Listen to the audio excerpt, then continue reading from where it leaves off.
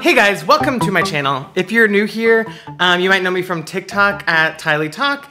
And normally what I do on my TikTok is I critique logos, I redesign logos, I do basically anything to do with logos. And a lot of those videos are about redesigns that have come out in the last couple years that people either hate or love. And so I decided to make one of my first coming back to YouTube videos be about logo redesigns. And a lot of the YouTube videos that I like to watch are like tier list videos. So I decided to compile as many modern logo redesigns that I could find and say what I like about them, what I don't like about them, and get a definitive ranking. I believe I have 44 modern logo redesigns in here. Let's get right into it. I decided to just do the classic S tier and then A, B, C, D. Uh, these aren't in any kind of order, I should say that. Uh, they're just random. So first we have the eBay logo.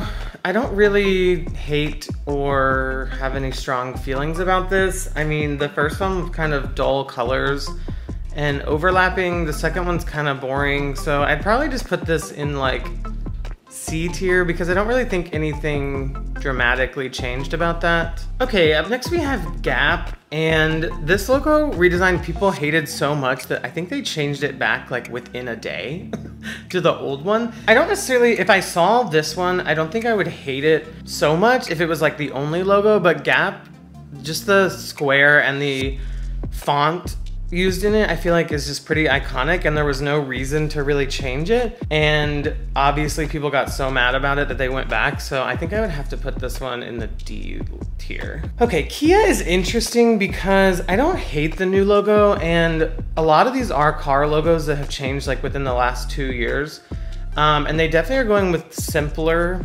design. You can really see kind of like the influence in Tesla in these car redesigns because a lot of them went from like having a very like chiaroscuro look to them with like bevel and emboss and everything like that to these very flat minimalist designs. The only thing I will say about this is it kind of looks like a K and a backwards in, which I don't really like that about it. Um, and so for that, I think I would have to call it in the C tier. Okay, Popeyes, this one's kind of controversial. Whenever I put this in my TikToks, people like either really loved the new one or really hated the new one. So I personally really like the new one. I think the old, it's just a P inside of a circle, like doesn't really have anything to do with Popeyes. It's just like the P reused. Um, and the new one is a lot cleaner. It has a chicken, which they're known for having chicken. So it's like right away, you know what you're gonna get. And I think that they, the old font was kind of like very cartoonish and weird, and the new one is very, it's like still fun and playful, but it's a lot simpler and easier to read. So for that, I like this one a lot. So I think I'm gonna put this one in the A tier. Okay, we have CIA. This one was also controversial when I, whenever I've put it in a TikTok video. I think the old one is like fine. There's nothing really wrong with it. And it obviously would work as like a patch on like a uniform or a shirt. Um, but the new one, it's almost like a James Bond reference or something in here because it really upped the cool factor a lot on the logo. I don't really think that they necessarily needed a change, but I do like the new one. I don't know, I don't wanna put it in the S tier because I'm kind of saving that for the top ones in my opinion. But I think this one's a good change and I'm gonna go with A tier for that one. okay, up next we have Slack. Um, I never really hated their old one. It's like a hashtag and if you've ever used Slack before, the channels are like defined by like they have a hashtag and then the channel. I actually read a couple articles on this and the reason they wanted to change it is because whenever people would try to replicate the logo, there's actually like the four main colors, but then in the crosshatch, there's four other colors. So the logo actually has eight colors in this tiny little thing. And so they really wanted to get away from that. And that's how they landed on this new one. I don't love the new one. I don't hate the new one. It's a lot more dynamic, but I'm looking at it from far away right now and you really can't tell what it is. And I think that's kind of like the whole point of a logo. So I think I'll put just put this one in B tier. I don't really think it's bad, but I don't think it's amazing. Okay, up next we have a very controversial one, which is BMW. A lot of people hate this one. Uh, especially every time I put it in a video, people hate it. Um, and I kind of feel the same way because it just feels like there's a lot of empty space. I think I would have just taken out BMW altogether if you want to simplify it this much. These emblems are on the car. And I think taking away that physical button identity is kind of like a miss in my opinion. I wouldn't say that this as a standalone logo is the worst I've seen, so I think I'll put this one in C tier as well. Okay, next we have Airbnb. Um, there was nothing really special about the first logo, and it didn't really have an icon. And so I think the new one succeeds in actually having like when I see this icon, I know it's Airbnb now. However, I just kind of don't understand what the symbol is. It looks kind of like a tent. It looks like a pointer. It looks like a lot of things, but I don't really understand how it has how it relates to renting a house. So for that, I think I would put this in B tier because I don't hate the logo. I just don't really get how it relates to what Airbnb does. Okay, now we have one that I absolutely despise. this is the Animal Planet logo. I remember when they changed from the elephant on the globe to this newer green one. Uh, and I never really had that many opinions on it. Like the M kind of looks like zebra stripes, but I don't really understand why it's turned sideways. But then they did this, and they changed it to this generic looking clip art elephant with very tiny lettering saying Animal Planet in all lowercase. Nothing about this to me says it's a TV channel. Nothing about it to me says anything about what it does except be a, a plain blue elephant. I really don't understand why this change was made. And for all those reasons, I think this one has to go in the D list. I hate this one.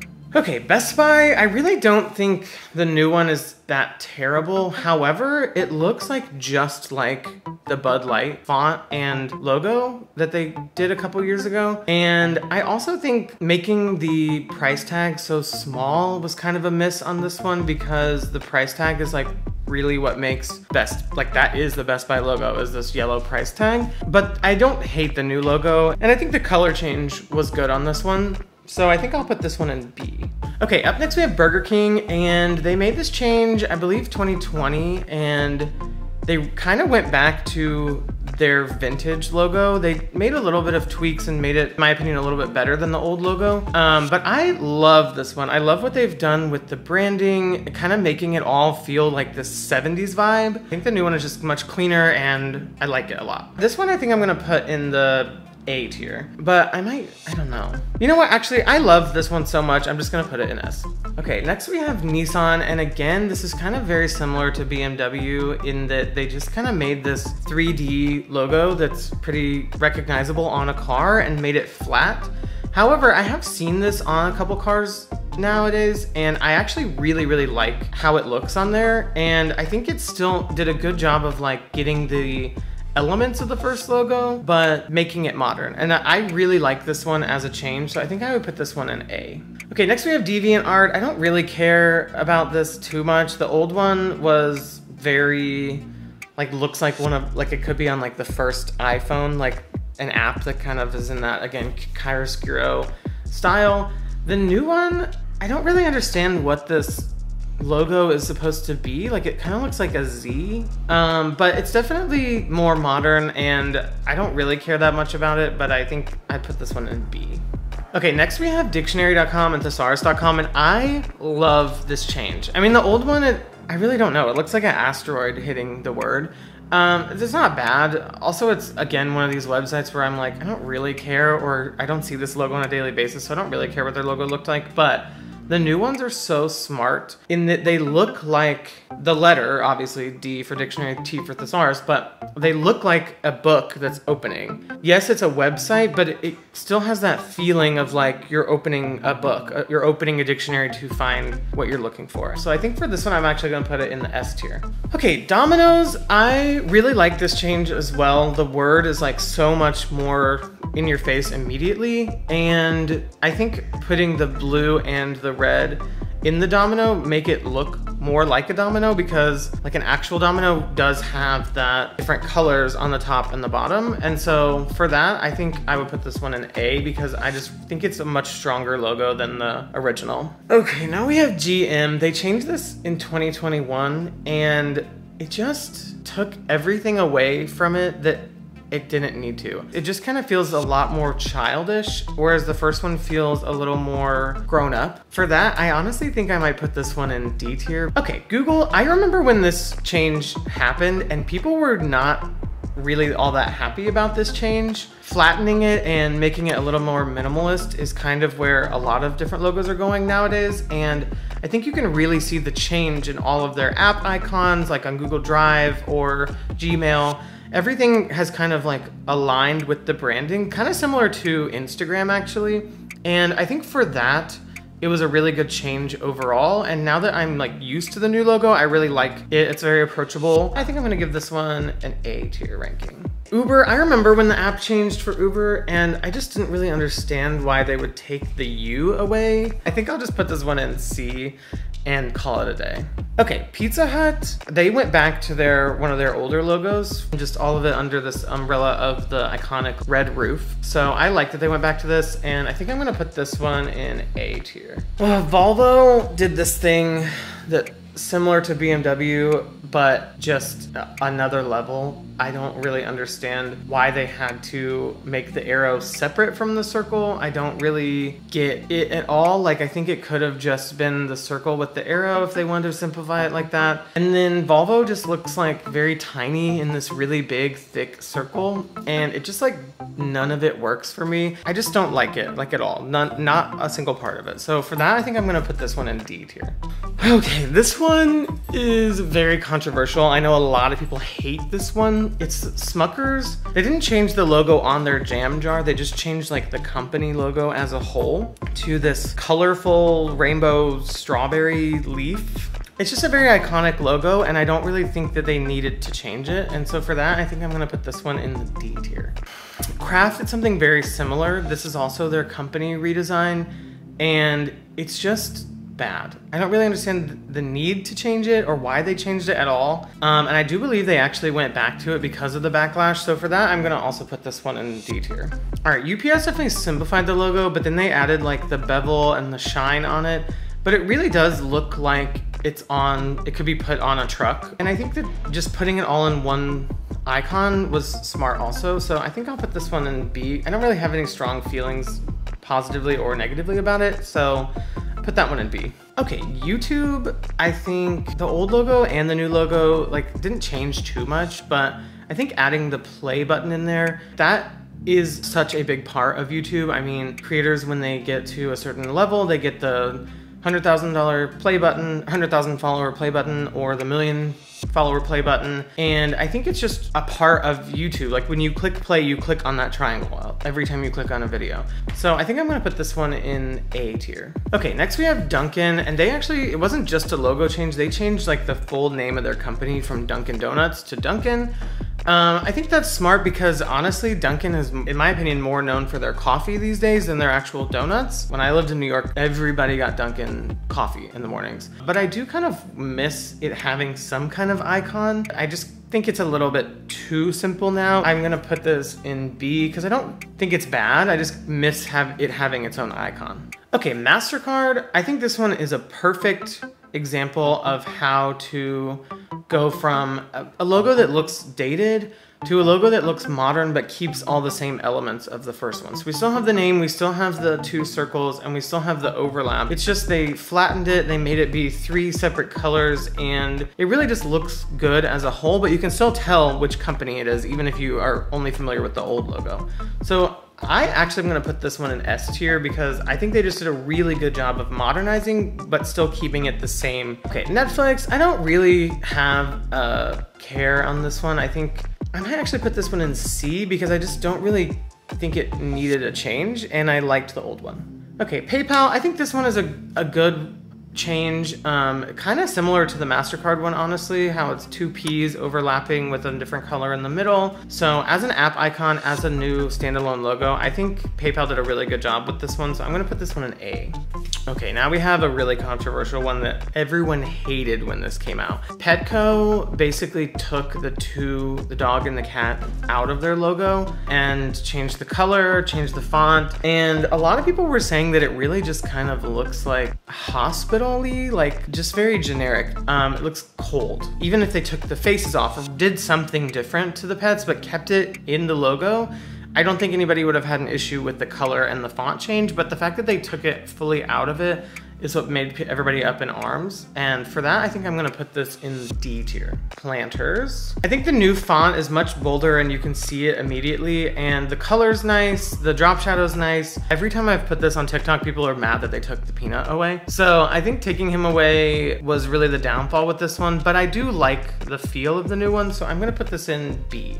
Okay, now we have a really controversial one. Actually, this is what started my entire journey into making logo videos. If you click here, you can actually see me redesign this new Pringles video, but I basically saw this on Twitter and people were hating on the new one because it is just very flat. I mean, they did take away a lot of the features from him, but the more I've seen it on cans and in the stores, the more I actually really like it you can still tell immediately from far away that it's the Pringles guy. For all the different types of Pringles that they have, the guy actually has a different expression. So his eyebrows might be like up and his eyes are kind of crazy when it's a spicy one, for instance. It's really changed my mind on the Pringles logo as a whole. So I think I'm gonna actually put this one in A tier. Okay, up next we have Pfizer. I had to include this one just because Pfizer has been obviously a big name in 2020, 2021, 2022. The old one did kind of look like a pill pill, which I think is smart because they are in healthcare. The new one, you can kind of see a pill shape inside of the little twirly thingies, but it also kind of just looks like two streamers, and I don't really understand the point of it. Like, I think they could have honestly just made it be the name and that's it. I'm, I think I'm gonna put this one in C just because I don't really get why they put streamers in it. Next we have Instagram. This is another one that when it first came out, there was a lot of controversy about it. Nobody liked it. Everybody liked the old app icon. I mean, it is very different, but I think as Instagram has evolved over time, this logo really was part of a much bigger branding idea than just being an app icon. They really went with a more like fun approach to what the app looks like and can do. They've taken the gradient that's in the icon and they've really used it throughout the app. And so for that, I'm gonna put this one in A tier. I do miss the old like camera feel of the old one, but I think overall this logo change was necessary to the direction of the app. Okay, GoDaddy, I only put this one on there because a lot of people on my TikTok have extreme feelings one way or the other about it. They either hate the new logo or they love the new logo. Why is it a heart? This G looks almost like a J, like a fish hook. It definitely, the new one does not tell me that this is a place to make a website. So for that, I'm gonna give it a D tier. Okay, Discord, I know a lot of people really didn't like the change, but I am gonna be on the defense of that and I actually do like the change. The new color is a lot stronger of a color. When I see the app on my phone, I immediately know it's Discord because I don't have any other apps on my phone with that color. It's very bright. I don't really like the old font or the new font, so I don't really have an opinion either way on that change. I know a lot of people really don't like the new font. I really like this change, so I'm gonna actually put it in A tier as well. Spike, I think the yellow and the black was kind of iconic for the channel, so I kind of missed that they took away the yellow, but I love the jagged line through the P-I-K, and it still looks like a P-I and a K. So I'm gonna put this one in B tier. Starbucks announced that they were going to take away Starbucks coffee from theirs and just make the it be the mermaid icon in green instead of in black. And I think this change was really smart. I mean, Starbucks, you could literally just hold a coffee cup with a green circle on it and people would know it's Starbucks. So I don't think taking the name off of it at this point and with how big of a brand it is was a bad idea. So for that, I'm going to give this one actually S tier. Okay, Fridays, I don't really have an opinion about this. I honestly haven't even seen a Fridays in a long time, like in the real world. I think it kept some of the elements of the old one, the stripes, the big font that says Fridays. Adding TGI on the side like that, I don't really care too much, but I think this as a modern logo works a lot better. And I think they can do a lot with this striped branding. So I actually really like this one. I think I'm gonna put it in A tier. Pepsi, everyone hated when this change happened. I remember it. I don't necessarily know why. I mean, it didn't change too much. I don't understand why they had to make the little loopy thing in the middle be dramatically like this as opposed to just straight up and down. I think I'm just gonna put this in B because it's fine. I don't really care either way. okay, TripAdvisor, I really like the new logo. It's clean. You can still tell it's the same exact icon, but the color is a lot more bold, kind of similar to Discord. It's just a better color and it stands out more. I don't know anybody that uses TripAdvisor in 2022, but as a logo on its own, I like it. So I'm just gonna put this one in B. Volkswagen, again, it's like the same thing we've seen with all these car logos. Just very flat now. It doesn't look like a button that goes on a car anymore. It's just very thin lines. So for that, I'm gonna put it in C just because of how I don't really get how it's gonna look on a car. Papa John's, I actually found this one today as I was trying to find all these logos. I really, really like the new change that they did. I didn't even know they made this change, um, but it's just a lot cleaner. The color is a lot brighter. It took away a bunch of the elements that weren't really necessary anymore. I think this was a very smart move and I I really like it. So I'm gonna put this one in A. Warner Brothers, and this was another one that people got really up in arms about when the change actually happened. But I don't dislike the change. I mean, I know a lot of people were mad because it is just a very iconic logo that you've seen time and time and time again in movies. Just for as a branding perspective for the company as a whole, I like it. So I'm gonna put this one in, I'll just put it in B tier. Lastly, we have Yahoo, and I think this is a smart move. The color is a little bit nicer, and the font is definitely more legible, especially when it's on a white background, when you're seeing this on a website.